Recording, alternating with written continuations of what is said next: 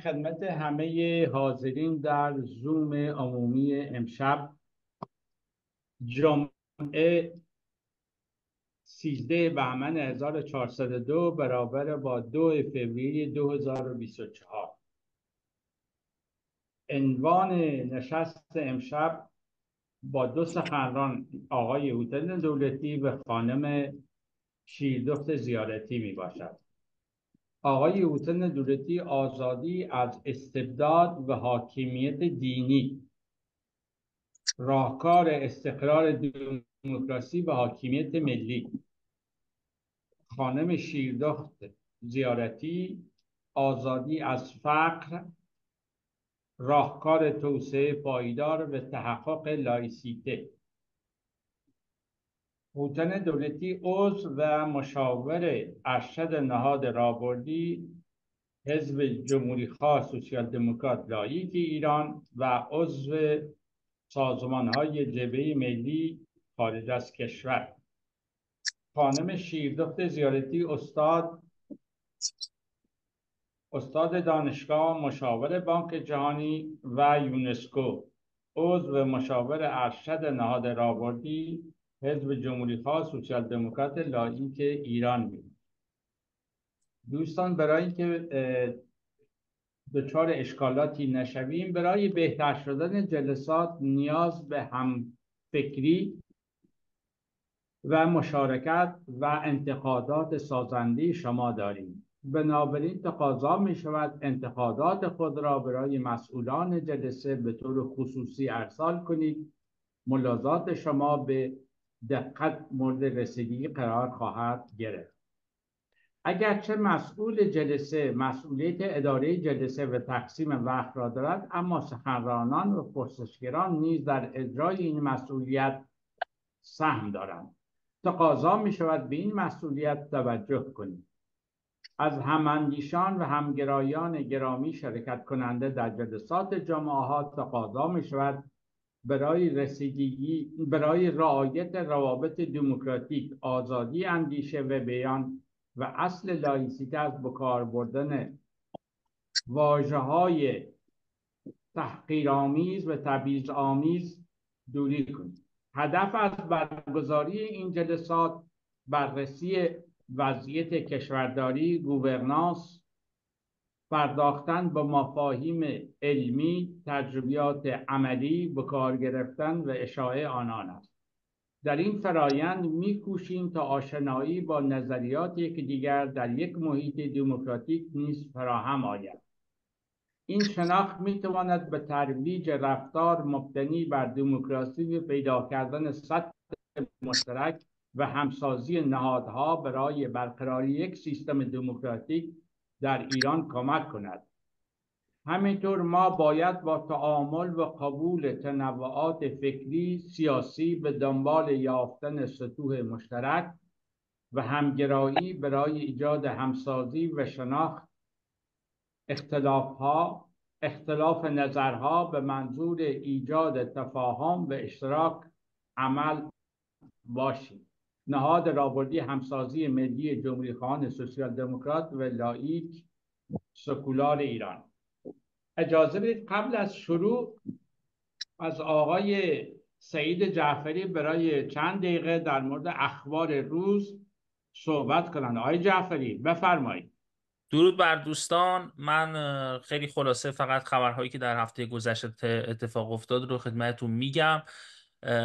اولین خبر متاسفانه ما هفته رو با چهار اعدام چهار زندانی کرد داشتیم که جمهوری اسلامی این افراد رو که با نام های محسن مظلوم، محمد فرامرزی، وفا آزیار و پژمان فاتحی بودن به دار آویخت و فعالان کرد گفتن که کردستان در مقابل کشتار فرزندانشون ساکت نخواهد موند. من فقط بگم که همسر محسن مظلوم گفته که خانواده های این چهار نفر در 19 ماه که در اینها بازداشت بودن از دیدار با اونها محروم بودن. فقط پیش از اینکه جمهوری اسلامی اونها رو به قتل برسونه یک دیدار کوتاهی با خانواده هاشون داشتن که واقعا باعث تاسف هستش.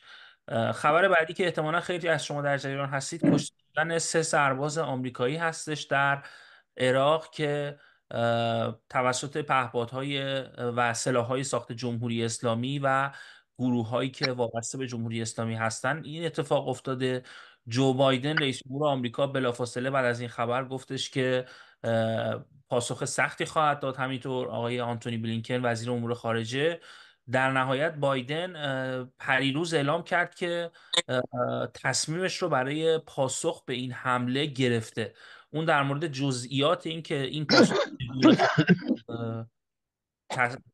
چیزی رو اعلام نکرد اما این روزها گزارش شده که الان اتفاقاتی داره در منطقه میفته پایگاه اردن امریکا داره تقویت میشه و مشخص نیستش که حالا تحلیلگران گمان زنی های مختلفی می‌کنن در خصوص پاسخ احتمالی امریکا به جمهوری اسلامی. در جریان این حمله سه سرباز ارتش آمریکا کشته و چهل نظامی آمریکایی هم مجروح شدن. در همین زمینه امروز خبر اومد که از, از رویترز گزارش دادش که تعداد افسران ارتش نظامی سپاه پاسداران در سوریه کمتر شده و همین امروز هم یک نفر کشته شد به اسم سعید علیدادی که یکی از مستشاران نظامی سپاه پاسداران بودش و گزارش شده که حالا تحلیلگران گفتن که جمهوری اسلامی با کم کردن فرمانده های نظامی در سپاه در سوریه تلاش می‌کنه که از درگیری مستقیم با امریکا و اسرائیل جلوگیری بکنه. و آخرین خبری که انتخاب کردم خبر خیلی جالبی بود. برای خودم گفتم برای شما هم.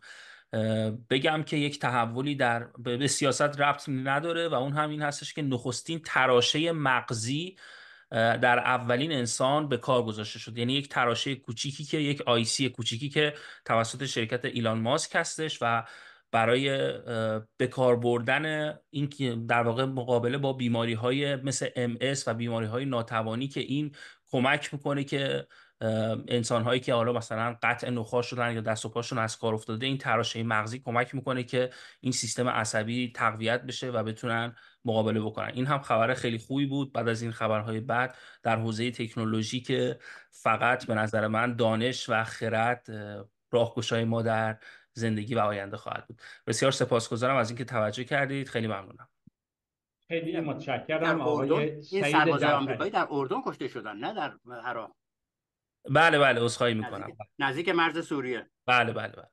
خیلی ممنون نیروهایی که نیروهای عراق نیروهای یعنی یک گروه عراقی مسئولیت حمله رو حرف شما صحیح هستش. متشکرم. خیلی متشکرم آقای سید جعفری. اجازه بدید سخنران اول آقای هوتن دولتی آقای آقای احمدی دستشون رو بلند کردن. شاید یه مسئله است که ندیدم. بفرمایید آقای احمدی. من یه اخباری شنیدم توی رادیو فردا. نمی‌دونم چقدر درسته. گفتن وکیل محسا ژینا امینی توی زندان کتکش زدن و الان جراحی شده و فلاینا من همینه که گفتم این رو هم ازش یاد کنیم. نوشتن که درست نیست این خبر. من خبرشو دارم. نمی‌دونم چون رادیو فردا گفت منم همین بله. مطمئن نبودم فقط من شنیدم. تحقیق کردن نوشتن درست نیست. بله. خیلی متشکرم آقای احمدی. اگر اجازه بدید سخنران اول آقای هوتن دولتی در مورد بحث امشب آزادی از استبداد و حاکمیت دینی راهکار استقرار دموکراسی و حاکمیت ملی آی دولتی. برای مدت 20 دقیقه بفرمایید خواهشم خانم مقدم من خواهش می‌کنم خانم زیارتی اول صحبت اشکال اش... متشکرم ولی اشکال اینه که صحبت های یا تم خانم شیردخت آزادی از فقر راهکار توسعه پایدار به تحقق لایسیته. یعنی اول باید ما از استبداد دینی گذار کنیم تا به برنامه خانم شیردخت زیارتی برسیم. من موافقم خانم زیارتی. شما اشتباه می‌کنید البته. آزادی, آزادی از فقری که من می‌خوام بگم ارتباط به این نداره که ما باید از اون گذر بکنیم به این برسیم.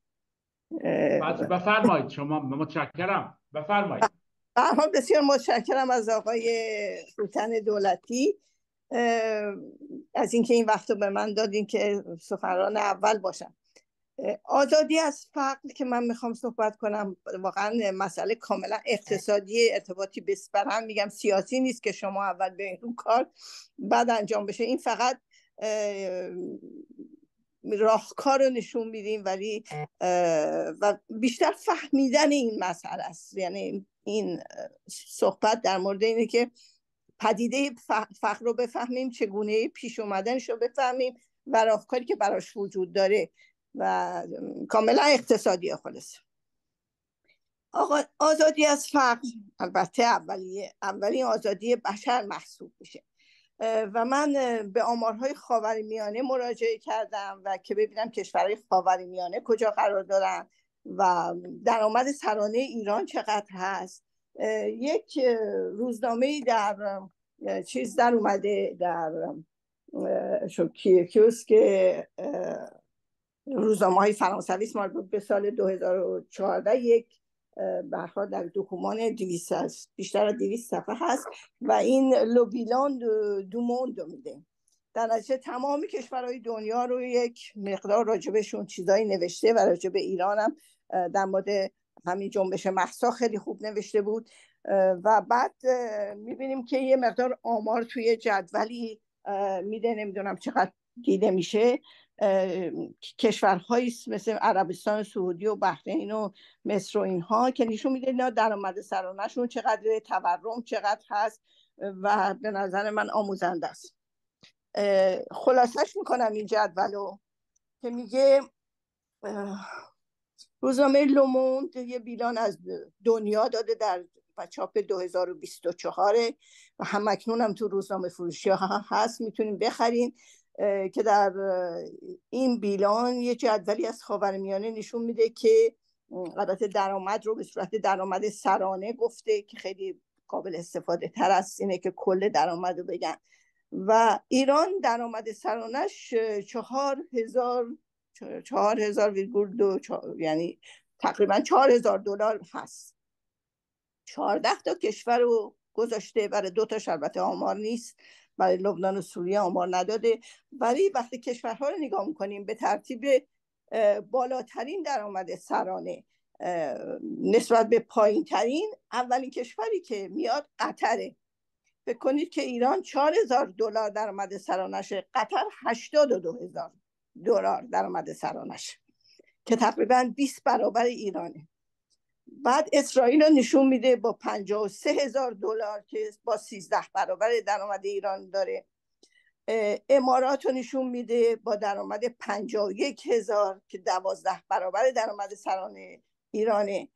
عربستان با 33 هزار دلار 8 برابر ایرانه. کویت با 32 هزار دلار اونم تقریبا 8 برابر ایرانه. یعنی کویت و عربستان خیلی درآمد سرانهشون به هم نزدیکه. بحرین با 28 هزار دلار. هفت برابر ایران درآمد سرانه داره. عمان با 21 هزار دلار پنج برابر ایران. و حتی عراق با 6 هزار دلار بازم یک و نیم برابر درآمد سرانه ایران رو داره. اردن با پنج بازم بالاتر از ایرانه. یعنی ایران اگه چهار هزار دلاره اردن پنج هزار دلاره. و بعد دهمین کشور فکر کنید توی دوازده تا کشوری که آمار دادن دهمینش ایرانه که فقط مصر و یمن از ایران کمتر درآمد سرانه دارن. مصر با سه و هشت که خیلی هم دور نیست از ایران چهار و دوه. و بعد البته یمن یه دفعه خیلی میاد پایین فقط 600 دلاره. وقتی وقت میریم سراغ تورم می‌بینیم که ایران رکورد داره. با 40 درصد تورم. که بعضی حتی از این کشورها مثل امان تورم منفی دارن. و تقریبا فقط ایرانه که خیلی بالاست و پشت سرش هم مصر که 35 درصد بقیه تورم های یک رقمی دارن. این اجتماع کلی میده از اینکه ما اینقدرم که فکر می‌کنیم ثروتمند نیستیم. حداقل بین کشورهایی که بیشتر نفتخیز بودن و دور ما بودن. ایران کشور دهمه و خیلی از کشورهایی که فکر نمی کردیم مثلا عراق و اردن و اینا رو فکر نمی کردیم از ایران وضعشون بهتر باشه بهتره. و مخصوصا روی تورمشون وقتی نگاه می‌کنیم مثلا عراق 5 درصده در حالی که ما 40 درصدیم. یعنی اونا مثل که بهتر می‌تونن کشورشون رو خلاصه اداره بکنن. و با تورم که خودش در اثر چاپ اسکناس بیروی است قدرت خرید مردم هر روز کمتر شده و درصد بیشتری از مردم زیر خط فقر قرار می‌گیرن فقر البته خب قبل از انقلاب هم وجود داشته. بعد از انقلاب هم ادامه پیدا کرده و امروز خیلی بیشتر شده. مردم فقیر رو در روستاها می‌تونیم ببینیم که مخصوصا که کشاورزی سخت شده آب, آب نداریم که نمی‌تونن خیلی کشاورزی بکنن و در حاشیه نشینا و در کپر نشینا این فقرا اونجا متمرکز هستن. که البته اونایی که قبل از انقلاب اصلاحات ارزی رو دیدن که این اصلاحات ارزی چون که با تاسیس تعاونی ها و کمک به کشاورزانی که زمیندار شده بودن همراه نبود نتونستن اینها کشاورزی رو اداره زمین ها رو اداره بکنن. و روسته ها همون زمان هم از حداقل رفاه برخوردار نبودن. و اصلاحات ارزی البته هدف داشت که رعیت رو به دهقان تبدیل کنه و از قدرت صاحبان روستاها که زمین های بزرگ داشتن بکاهه. اما می‌بینیم که زمین و بعد برای اینکه زمین تقسیم نشه گفتن خب پسر اول خانواده می‌تونه زمین رو به ارث ببره و بچه های دیگهش برن شهر توی صنعت کار کنن. و این شروع این مهاجرت و حاشیه نشینی شد. چون صنایع ما نوپا بود و نمی‌تونست اینا رو استخدام کنه. عدم جزم اونها حاشیه نشینی اطراف شهرها رو به وجود آورد. و وقتی می‌بینیم هوا خمینی میاد به ایران خیابونا که سیاه شده بود از جمعیت این جمعیت حاشیه نشینا بودن که به امید زندگی بهتر دنبال خمینی میدویدن. ولی می‌بینیم حاشیه نشینی بعد از انقلاب نه تنها کمتر نشد که بدترم شد کپر نشینان بهشون اضافه شدن ای از این افراد شناسنامه ندارن و در فقر و کسافت زندگی می‌کنن. البته خب خیلی دلایل دیگری هم می‌تونیم برای فقر بگیم از اینکه قسمت اعظم بودجه کشور به نهاد مذهبی تعلق می‌گیره نه به مردم. فساد سیستماتیک هست اختلاط و و هزینه نیروهای شبه نظامی و نیابتی و اینها.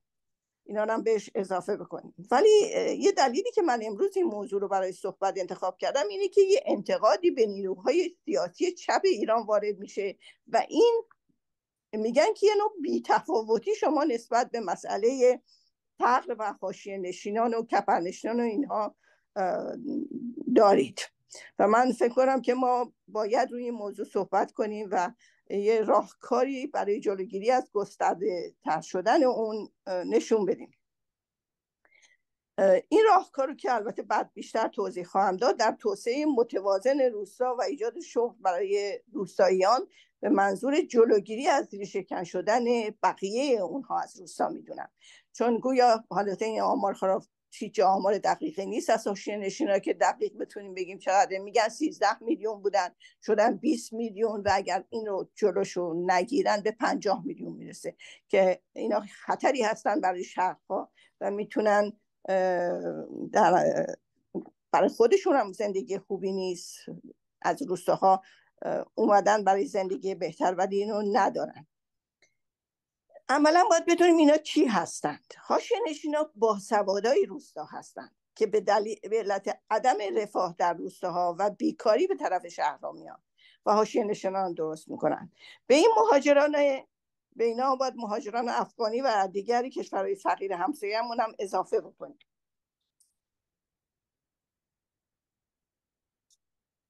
خب اینا امکان اشتغال ندارن امکان مسکن ندارن. حتی اگر شغلای کوچیکی تو پیدا کنن میان تو حاشیه نشین ها برها بر خودشون اون حلبی آباده و اینا زندگی در... مسکن درست می‌کنن. و اگر قبل از انقلاب اکثریت مردم در ها زندگی می‌کردن و فقط 40 درصد شهرنشین داشتیم حالا با شرایط فعلی اکثریت مردم در شهرها و اطراف شهرها زندگی می‌کنن و فقط 27 درصد ما روستانشین داریم. اگر یعنی حاشیه نشینی به نوعی در حال پیشرفته و البته چون جمعیت اضافه میشه اگر درسته که درصد فکر می‌کنیم اون موقع 60 درصد مردم روستانشین بودن و الان 27 درصد هستن ولی به دلیل رشد جمعیت از تعداد روستانشینا کم نشده. ولی اون چه که اضافه شده به روستا نشینان به علت مهاجرت به نوعی تعداد ثابت مونده. جمعیت شهرها هم به دلیل رشد جمعیت هم به دلیل مهاجرت روستایی ها خب اضافه شده بیش از 73 درصد شهرنشین بودن. حالا حتما بیشتر هم شدن. حاشیه نشین هم حالا دقیق نمی‌تونم بگم که جزی از این جمعیت محسوب میشن یا اینکه اصلا اونا رو تو آمارها نیاوردن. چون یه زمانی حتی زمان شاه وقتی آمارگیری می‌کردن فقط جمعیت ساکن رو حساب می‌کردن و جمعیتی که ساکن نبودن یعنی اشایری که از کوچ می‌کردن اصلا در اون جمعیت محسوب نشده بودن و بعضی وقتا یه آمار دیگری برای جمعیت غیر ساکن می‌گرفتن که اغلب مخفیانه بود و پخش چاپش نمی‌کردن. حالا چه باسا که این جمعیت حاشیه نشین هم در هیچ آماری محسوب نشده باشن. به حال یه مقدارم که خب افغان ها میان که اینا هم به دلیل اقتصادی برای یافتن کار میان. و ما کشوری هستیم که خودمون 11 درصد جمعیت فعال بیکار داشتیم در سن 15 64 سال که به دنبال شغل میگشتن و شهرها هم قادر به جذب افغان ها نیستن و مهاجران به حال اینا حتی اگر کار پیدا کنن میرن تو حاشیه نشینی برای خودشون مسکن پیدا کنن حاشیه نشینی خطری برای امنیت شهرهاست و حاشیه نشینا زندگی بهتری ندارن. بالعکس در فقر و کسافت زندگی بدتری رو تجربه می‌کنه. سوال کلیدی این بحث اینه که چگونه می‌تونیم از مهاجرت روستایی به شهر جلوگیری بکنیم؟ و جوابش تنها جلوگیری از جلوگیری روستاییان در یک کشور کم آب ایران که کشاورزی مقروم به صرفه نیست فراهم کردن کار برای روستاییانه و توسعه متوازن روستاهاست. می‌دونیم که کم آبی رو با شیرین کردن آب دریاهای شمال جنوب و ایجاد دریاچه های مصنوعی برای ذخیره آب باران و سیل, سیل می‌تونیم حل بکنیم. ما در ایران حتی در خوزستان سال گذشته سیل داشتیم. مشکل ما مهار نکردن و ذخیره نکردن آبه و روستاییان گاهی آب آشامیدنی هم ندارن. که این رو با یه راه حل ساده ای هست. الان دانشجویان شریف هم کلی مطالعه کردن. راههایی برای شیرین کردن آب با هزینه کم پیدا کردن. و درست کردن یه مقدار دریاچه مصنوعی خرجی نداره. و می‌بینیم که حتی در فرانسه در زمانهای قدیم این دریاچه های مصنوعی برای ذخیره آب بوده. و من نمی‌دونم چرا کشور ما از اون استفاده نکرده. به هر حال غیر از آب چگونه می‌تونیم توسعه رو در روستاها ایجاد بکنیم که جلوی مهاجرت روستاییان به شهرها رو بگیره؟ که خب آب و برق و جاده و آموزش و بهداشت و مسکن قابل زندگی و ایجاد تعاونی برای کمک به کار کردن روستایی ها ضروری هست. باید از هر منطقه یک, یک روستای مرکزی رو بگیریم که چند تا روستای دیگه دورورش باشن و بهش دسترسی داشته باشن. و بعد در این روستای مرکزی اول با خب جاده لازمه و وسایل نقلیه برای اینکه به روستاهای اطراف بریم. و در این روستای مرکزی می‌تونیم یه تعاونی درست کنیم که به روستاییان برای تهیه وسایل کار و یا دادن وام و خرید کالای تولید شدهشون کمک بکنه. باید وسیله حمل و نقل بین روستای مرکزی و روستای اطراف رو فراهم کنیم جاده های قابل رفت بعضی وقتا می‌تونیم حتی یه درمونگاه یا داروخانه کوچیک توی یه دونه ماشین یه دونه آمبولانس فراهم کنیم. لازم نیست حتما ساختمون بسازیم بشه درمونگاه یه دونه آمبولانس می‌تونه خودش یه درمونگاه کوچیک باشه که بره واکسیناسیون بکنه مریضا سرکشی کنه با یه کامپیوتر با پزشک تماس بگیره. و یا یه اتوبوسی مثلا در این حد. یه پزشک می‌تونه پزشکایی هستن که می‌تونن یک روز در هفته برن روستا به بیمارا رو ویزیت بکنن.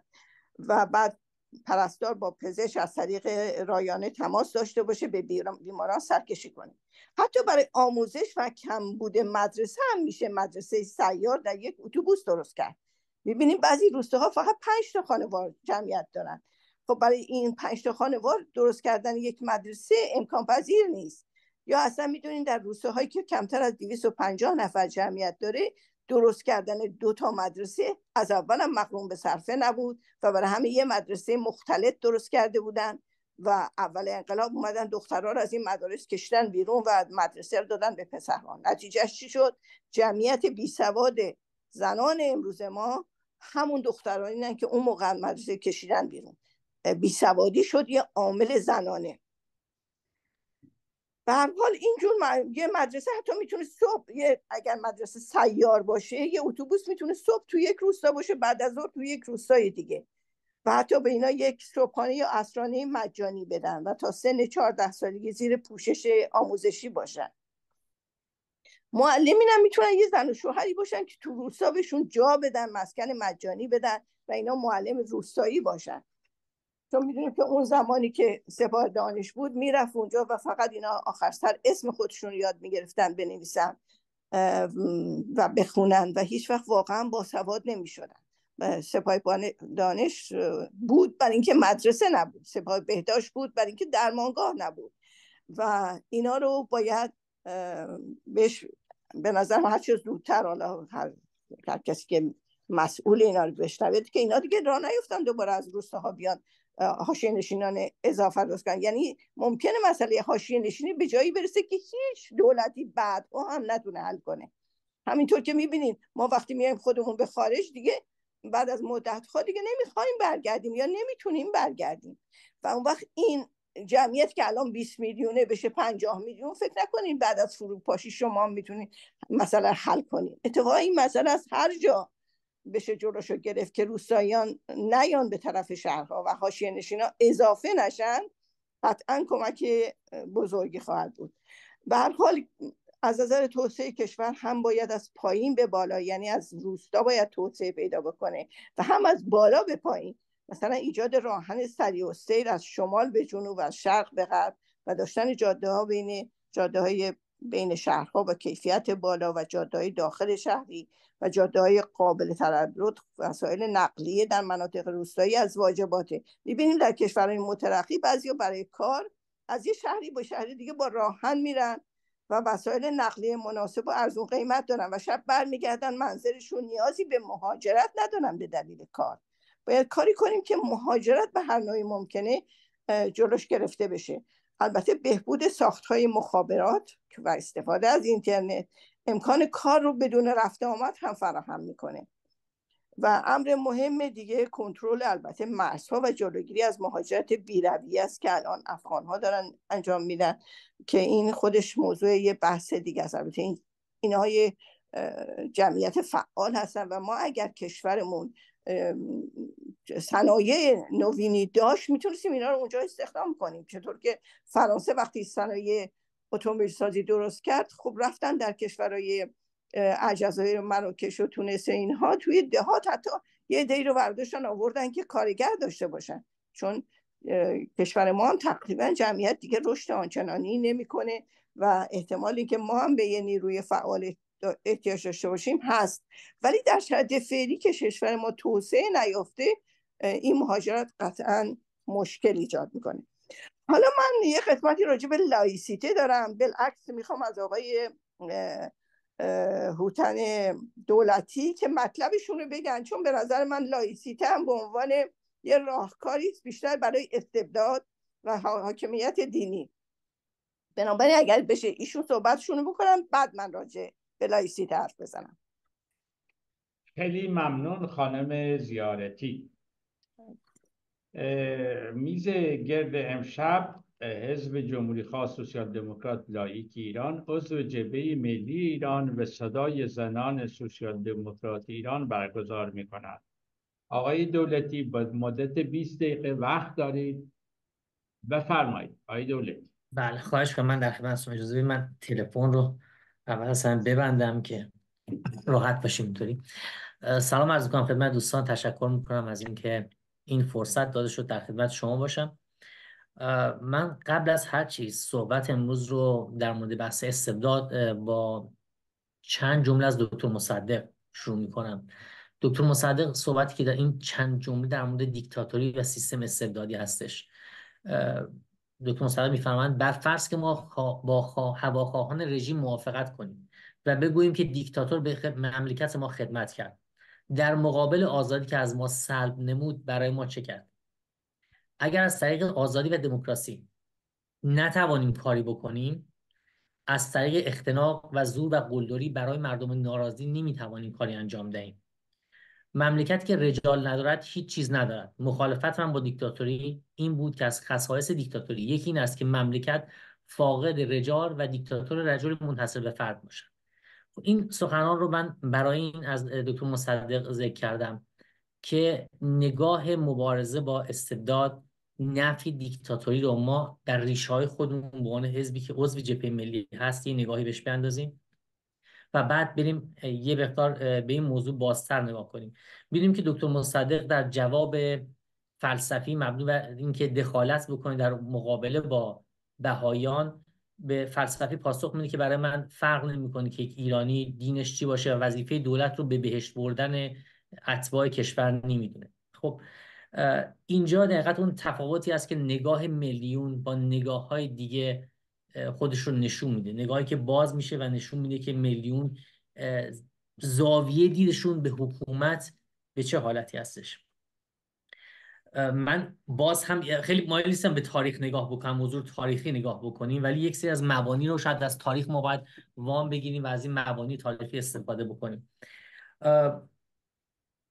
در بسیاری از نگاه ها بحث استبداد رو منحصل به نوع حکومت فردی یا یک حکومت یک الیت جامعه الیت خاصی از جامعه می‌دونن.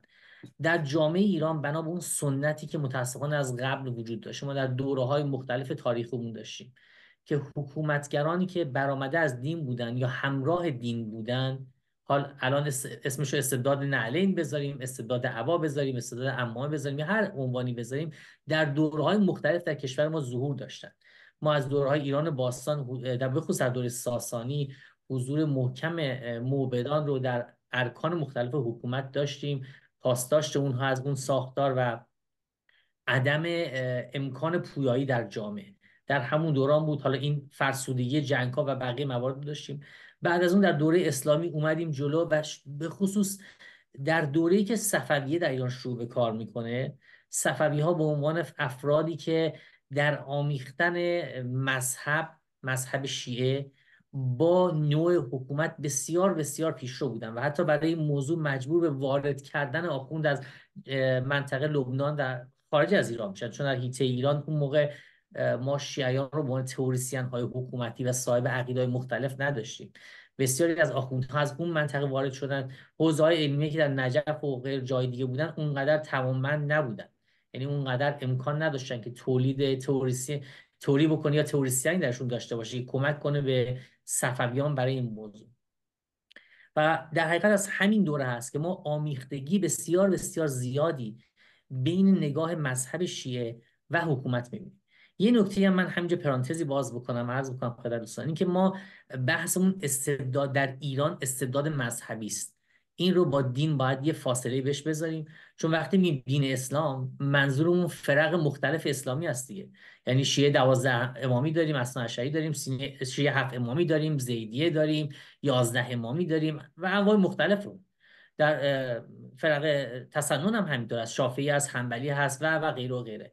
بنابراین این رو از اول ما من می‌خوام یه تفکیکی قائل بشم چون به صورت مشخص در ایران داریم صحبت می‌کنیم و شرایط ایران. بحث شیعه دوازده امامی که فقهش در حال حاضر به عنوان منبع قانونگذاری در ایران هست. باید تفکیک بکنیم از بحث اسلام.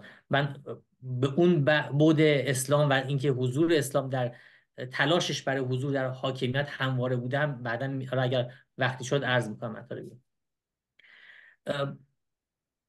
فقه شیعه در ذات خودش که ما در ایران دین می‌شناسیم. یعنی ما یک جز رو که در عالم اسلام چیزی نزدیک 20 تا 25 درصد عالم اسلام هست ما تعمیم میدیم به کل. چون در این فرهنگ که ما زندگی می‌کنیم اسلام رو صرفا به اسم شیعه می‌شناسیم. میاد بحثی که داره از یک دوری به بعد بحث امامت رو داره و در ساختار امامت خودش بر اساس احادیثی که هست حالا وارد بحث فقه و دینی نمیشیم. معممین رو فقها رو یا آخوندها رو به عبارت راحتتر جانشینان امامان می‌دونه و تفسیر دین رو به عهده اینها گذاشته. در فقه که دقیقت به نوعی حق تقنین هست حق قانونگذاری هست در شیعه این انحصار در فهم قوانین الهی تعمیم اون به قوانین زمینی به فقها داده شده. یعنی اگر فردی می‌خواهد قبول بکند که یک مسلمان هست باید با فقه همراه باشه. می‌دونم بسیار دوستان خواهند گفتش که این اسلام اون اسلام نیست این فقه اون فقه نیست و از این صحبت ها رو ما بارها شنیدیم. طرفداران مثلا مسوا یزدی هم همین صحبت رو می‌کنن. میگن فقه با اسلامی که ما میگیم یا مذهبی که ما میگیم اون مذهب هست و بقیه مذهب ها مذهب نیست. شاید این رو به صورت متکثر باید نگاه کرد و بقیه همه اینها بخشی از اسلام هستن. چون افرادی که می‌گویند که من اسلام دین رحمانی هست. چه افرادی مثل مصباح یزدی که میگن که اسلام دین بردهداری و کشتن هست و مخالف حقوق بشر است همه طیفی از یک مذهب هستن و اینو در اون کانسپت همگی با هم باید نگاه کردش. من تفکیکی بین این قائل نمیشم که بگم این مذهب با اون مذهب فرق می‌کنه این مذهب رحمانی است و اون مذهب کمتر رحمانی است و این اسلام اون اسلام نیست. به هیچ وجه این رو از این زاویه نباید نگاه کرد. همین ها بخشی از یک اسلام هست. قرائتی است که از اسلام میشه و همونطور که طرفداران اون اسلامی که مدارا و تصاور و تسامح خودشون رو بر حق می‌دونن طرفداران خشونت مثل مصباح یزدی هم خودشون رو بر حق می‌دونن. و در طول این سالها در جدال بین این دو طیف هیچ کنون از این دو طیف نتونستن همدیگر رو قانع کنن که یکی از اینا درست میگن. و مردم هم همواره بین این نگاه ها در گذار بودن. اما در همین نگاهی که در قال گذار بودن این در این کشاکشی که ما بین این دو طیف دو نگاه داشتیم چند شخصیتی در فقه شیعه هستن که میان و این مباحث رو به خصوص ولایت فقیه و بحث حق حاکمیت دین رو در بر زندگی رو یا رد می‌کنن یا شدیدا موافقش هستن. مثلا آخوند خراسانی با ولایت فقیه مخالف بوده. آیت الله خویی با ولایت فقیه مخالف بوده و آخوند خراسانی می‌دونیم که یک نقطه عطف در فقه شیعه هست و نوشتار و گفتارش مقدار زیادی تاثیر گذاشته بر تمام موارد. از سوی دی علامه ناینی که شاگرد آخوند خراسانی است و از کسانی بود از مشروطه شدیدا حمایت می‌کنه و در نگاهی که داره بحث می‌کنه که استب... با بحث استبدادی که هست مخالف هست و موافقت با آزادی و برابری داره شدیدا موافق ولایت فقیه هست. یعنی این دو طیف و دو نگاه رو همواره ما داشتیم. حالا می‌رسیم به افرادی مثل شیخ فضلالله نوری که سوی دیگر همراهی با استبداد رو داشته. خب این چند نگاه متکثر رو ما همواره داریم. اما مشکل اصلی که در استبداد دینی ما باش مواجه هستیم بیشتر آیا خرف چقدر دیگه وقت من مونده؟ من بتونم تنظیم کنم. ببخشید. شما سیزده دقیقه دیگه وقت دارید. بفرمایید. بله متشکرم. چون من وقت نگرفته بودم گم کردم اما مشکل اصلی که ما با استبداد دینی داریم این است که استبداد دینی به نوعی چون منشأ قدرت خودش رو منشأ حضور خودش رو در جامعه برآمده از آسمان می‌دونه و در سیستم دینی ما تسلیم رو داریم و در سیستم دینی شما باید با یک اعتقاد قلبی بپذیرید که یک موضوعی هست. سیستم تعقلی در سیستم دینی بعد از پذیرش قلبی شکل می‌گیره. شما با عقل نمی‌تونید بیاد به معجزات برسید. با هیچ عقل و منطقی نمی‌تونید قبول کنید که رود نیل از وسط دو نصف میشه یا ما نصف میشه یا خورشید حرکت نمی‌کنه. اصلا چنین چیزی امکان پذیر نیست که کره زمین حرکت نکنه یا خورشید در کهکشان ثابت باشه کره زمین هم فیکس بشه ثابت بشه که نماز دیر نشه بشه نماز خوب. اصلا چنین چیزی کل منظوم شمسی رو به هم میرزه بنابراین اینها برمیاد از یک اعتقاد قلبی که شما بدون نیروی تفکر باید قبول کنید مرحله بعد از اون هست که عقل میاد از یک سری آیات که به اسم وحی یا چیزایی که مثل این داریم یک سری قوانین رو استخراج می‌کنه برای اون جامعه. بنابراین منشأ ابتدایی موضوع پذیرش هست بدون چون و چرا. و مفسری که برای موضوع هست فقیهان هستن. و خب ما احادیثی هم که من عرض کردم در شیعه داریم پذیرش بلا قید و شرط است. چون بخشی از فقه امامیه یعنی اعتقاد و بنیادهای فقه امامیه امامت هستش. بنابراین شما با یک موضوعی سر کار دارید که از خرد و منطق نمیشه درش استفاده کرد. جایی که خرد و منطق رو نتونیم ازش استفاده بکنیم یعنی به خرد جمعی هم نمی‌تونیم وارد بشیم. نه خیر عمومی رو می‌تونیم درش به کار ببریم. چون خیر عمومی در اینجا برای فقیهان که نیست. فقیهان نظر شخصی خودشون دارن استنباط می‌کنن. این خیر عمومی کنار گذاشته میشه. موارد جهان شمولی هم که ما امروزه مبنای قانونمون هست مبنای حقوق هست مثل حقوق بشر باید کنار گذاشته بشه. چون طبیعتا شما مواردی دارید که با اون برداشت فقیهان در تضاد کامل هست. مگر اینکه فقیهان از اون نگاه سنتی از اون نگاه مذهبی و بالاتر از اون نگاه دینی بیان بیرون. که شاید تنها موردی که در ایران در حال حاضر من نگاه کردم و دیدم آقای مشتری شبستری هستن که ایشون حتی بحث خوندن نماز رو هم میگه. من فکر میکروفون آقای کرمی آقای کرمی تشریف آوردن میکروفونشون بازه میبندن. خیلی خوش آمدید آقای کرمی. در حقیقت تنها کسی که در حال حاضر در ایران من دیدم که این نگاه رو به صورت خیلی بازتر و تغییرات بنیادی تر داره بهش نگاه می‌کنه مشتری شبستری بوده. که مشتری شبستری خب بنیانگذار هرمونتیک و مباحث بینی در داخل ایران بوده و ایشون کسی بود که اومد گفت حتی نماز خوندن لزوم نیست که پنج نوبت یا سه نوبت نماز بخونید همین که ما یا به یاد خدا باشیم یا اصلا دیندار بودن یا مذهب داشتن فقط به ما آرامش بده کفایت می‌کنه. خب این نگاه بسیار بسیار متفاوت است با نگاهی که مثلا فردی مثل سید محمد خاتمی داره که به زور می‌خواد یک نگاه فقهی رو آشتی بده با دموکراسی. خب این مواردی که من خدمتتون عرض کردم در بحث استبداد و این و مشکلاتی که استبداد دینی پیش میاره یک سمت دیگرش هم برمیگرده به فرهنگی ما در کشورمون یعنی ما باید بدونیم که اولویتی که برای کشورمون می‌خوان. یعنی اولین وظیفه حکومت چی هر وظیفه‌ای که در اول کار برای حکومتمون متصور بشیم ولو اینکه با واو عطف به بقیه مواردش این رو معطوف کنیم. این می‌تونه هدف گذاری ما برای حکومت و نگاه ما به حکومت رو بگه.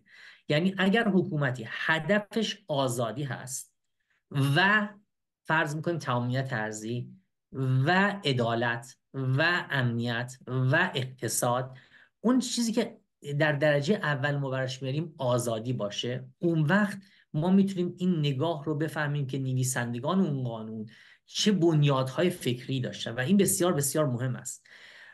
من به شخصه این عقیده شخصی خودم عرض می‌کنم. وظیفه یک حکومت رو هدف یک حکومت رو بحث آزادی می‌دونم. و این آزادی بسیار بسیطه دیگه. ما آزادی وقتی بحثش رو می‌کنیم آزادی از چه آزادی برای چه و بقیه موارد رو براش داریم و میریم جلو. حال اگر این بحث رو ما در مورد آزادی نگه داریم و بگیم خب ما آزادی رو می‌خوایم داشته باشیم اون وقت وظایفی دولت داره. یعنی این آزادی یک وظیفش یه سری وظایف سلبی هستن یه سری ایجابی هستن. موارد سلبی مثل این میمونن که دولت ها نباید اجازه نه خودشون شکنجه کنن نباید اجازه بدن کسی شکنجه بشه. نباید خودشون ظلم بکنن نباید اجازه بدن کسی ظلم بکنه. نه خودشون عدالت رو زیر پا بگذارن نه بگذارن که در جامعه عدالت از بین بره. این نباید ها نباید سلبی هست. و یه سری موارد ایجابی هم در پشت اون ما داریم. یعنی این مواردی مثل وظیفه دولت ها برای آموزش دادن وظیفه دولت ها برای تامین امنیت. اینها موارد ایجابی هستن که در ادامه همون آزادی ها ما برش یک نقشه راه یک هدف یک نگاه یک سری قوانینی که باید به صورت موضوعی در مجلس تصویب بشه و اینها رو داریم. یعنی این بحث آزادی و نفی اون استبداد دینی که ما از اون سمت داشتیم یک حالت چندگانه داره. حالا اگر ما به قانون اساسی ایران برگردیم من این رو عرض کردم که ما یک نگاه بر این اساس داشته باشیم. اصل دوم و سوم قانون اساسی ما تکلیف ما رو معلوم می‌کنه. نظام جمهوری اسلامی نظامی است. و من اصل دوم رو دارم می‌خونم. بر پایه ایمان خدا یکتا و تسلیم بر او وحی الهی و نقش بنیادی آن در قوانین. یعنی شما از همون ابتدا در اصل دوم قانون اساسی جمهوری اسلامی تکلیفتون با اینکه قوانین الهی است و مفسر اون کی هستش؟ مفسر اون تو اصل دوم بند ششم میگه اجتهاد مستمر فقهای جامع شرایط در اساس کتاب و سنت معصومی. یعنی ما تکلیف اون از ابتدا با سیستم جمهوری اسلامی مشخص است. سیستمی که تو اصل دوم و سوم خودش این موضوع داره صراحتا برای ما توضیح میده که آقا ما داستانمون اصلا آزادی نیست. ما داستان ما نفی استبداد نیست. اگر تو اصل سوم بحث می‌کنیم یه محو هر گونه استبداد و خودکامگی و انحصار طلبی. ولی اصل دوم با سومش همین تضاد رو شما درش می‌بینید. در اصل دوم میگه این کار وظیفه فقهاست. یعنی از اون اول اصل دوم بنیاد جمهوری اسلامی رو برای یک استبداد دینی می‌ذاره. یک گروه خاصی بیان در دین نقش مفسر رو دارن بیان برای جامعه تعریف کنن بایدها نواعدها رو قوانین رو منتشر بکنن. و در اصل سوم اون میگه حالا استبداد هم محو بکنیم ضرری نداره. ولی این محو استبداد ابزارش چیه؟ باز هم همون فقها هستن. یعنی یک سیر باطلی رو ما در قوانین جمهوری اسلامی داریم. خب این تک تک مواردی که من عرض کردم وقتی کنار هم میشینیم یک زاویه دورتری بینیم ازش نگاه بکنیم ما با مفهوم خاص استبداد در ایران مواجه هستیم. مفهوم خاص استبدادی که در ایران سختتر از استبداد در جاهای دیگه است. یعنی استبداد دینی بسیار بسیار سختتر از استبدادهای عادی و معمولی می‌تونه کنار بره. چون بر این پایه و اعتقاد قلبی است که تا لحظه آخر باید از این حقیقتی که براش مسلم شده از این موضوعی که بسیار بسیار براش مقدس هست باید دفاع بکنه. شما حکومت طالبان رو می‌بینید. 20 سال پیش آمریکا اینا رو برانداخت. کاری اصلا به موارد داخلی خارجی کی حمایت کرده همه اونها سر جای خودش ها ولی اعتقاد طالبان بر همین موضوع بوده. من در همون سیستم افغانستان با طالبان صحبت کردم. با خیلی از افرادی که گروه های مختلف طالبان بودن. افراد عادی هم بودن. لزوما طالبان افراد خیلی خاص و عجیب غریبی نبودن. تو سیستم جمهوری اسلامی هم همین است. افرادی که معتقد به همین سیستم و همون نگاه استبدادی هستن افراد خاصی نیستن. بخشی از همین جامعه هستن. منتها این موضوع بهشون به نوعی نگه تلقین شده باشه. با این باور زندگی کردن و رشد پیدا کردن. خب اگر می‌خوایم از این سیستم ها گذار بکنیم ما باید بیایم بیرون از این نگاه استبدادی. یعنی اگر قبول بکنیم که انسان بر اساس مفاهیم مدرنیته یک موجودی است که صاحب اختیار هست. خودش می‌تونه برای خودش تصمیم آیا خلف خیلی موندی چند دقیقه وقت دارم؟ چهار دقیقه دیگه وقت دارید. بفرمایید. من انتهای صبح عرضم هستش. اگر ما بر اساس مفاهیم مدرنیته به این موضوع می‌رسیم که انسان صاحب اختیار هست انسان موجودی است که می‌تونه برای خودش تصمیم بگیره. و حکومت موضوعی است عرفی موضوعی است که بین مردم هست و مردم صاحب اختیار خودشون هستن. یا به قول لینکلن در حقیقت حکومت بر حکومت مردم بر مردم توسط مردم و برای مردم هست این حکومت. بنابراین از این مباحث باید ما بگونه ای گذار بکنیم که برای مردم عادی هم قابل فهم باشه. دوستانی که تحت عنوان روشنفکر دینی یا کلمه سعیدش و روشنفکر مذهبی در ایران فعالیت می‌کنن و بحث آزادی ها بحث نفی استبداد و بقیه رو دارن مطرح می‌کنن خیلی از اوقات در جامعه نمی‌تونن برد داشته باشن. چون زبان مردماتی زبان اون فردی که مذهبی هست رو نمی‌دونن. برای اون فرد مذهبی تاسو و آشورا اینکه ما رمزون حتما 21 که ما رمزون عزاداری بکنه در ایام محرم و سفر عروسی نگیره و خیلی از موارد مذهب دیگه. ولی خرافی بدونیم سنتی بدونیم هرچه بسیار مهمه. کسی می‌تونه در این گذار از دقیقت استبداد دینی از این نگاهی که در ذهن افراد نقش بسته بر این استبداد گذار بکنه که اون گفتمان مذهبی رو بدونه. یعنی صحبتی که آخوند در نفی یک استبداد می‌کنه. صحبتی که یک آخوند در بحث آزادی و لزومش برای جامعه می‌کنه. خیلی از موارد از صحبتی که افراد روشنفکر یا گروه های مختلف جامعه می‌کنن برای اون فرد مذهبی مهمتر است. چون مرجع فکری مرد یا زن مذهبی نگاهش به اون نگاه یک آخوند هستش. یک نگاه یک معمم رو قبول داره تا صحبت هایی که ما اینجا انجام میدیم. بنابراین بسیار بسیار مهمه که ما با افرادی که معتقد به عدم حضور مذهب در ارکان جامعه هستن به عنوان یک حضور مداخلگر یعنی ما آخوندهایی یا معممینی که روحانیونی که معتقد به لائیسیته هستن یا حداقل به سکولاریسم در کمترین حالت اون باورمند هستن رو باید در جامعه تقویت کنیم. با تقویت این نگاه با تقویت این قشر می‌تونیم کمک بکنیم که بحث مفهومی به اسم آزاد بودن بحث نفی استبداد بحث استبداد دینی به مرور زمان در بین حامیان استبداد دینی که در ذات اون هستن کم بشه و از این موضوع ما بتونیم بیایم بیرون. منتها این موضوع زمان بر هست. ما انتظار نداشته باشیم که یک باره آخوندها سکولار بشن آخوندها لایک بشن بتونن کمک بکنن و کاری بکنن. زمانبر هست. این بحث مباحثی که مربوط تکنولوژی است آگاهی رسانی و حتی صحبت با این معممی بسیار بسیار به ما کمک می‌کنه. من فکر می‌کنم که من هم ارزم تموم بکنم تا قسمت دوم رو هر زمان که بود ادامه بدم. متشکرم. خیلی ممنون آقای هوتن دولتی.